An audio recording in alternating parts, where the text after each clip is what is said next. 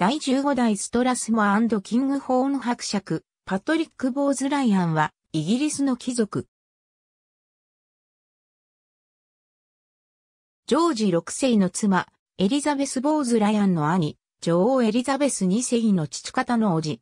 グラームス男爵クロード・ジョージとその夫人、セシリア・ニナ・キャベンディッシュ・ベンティンク長男として、ハートフォードシャーのヒッチンで生まれた。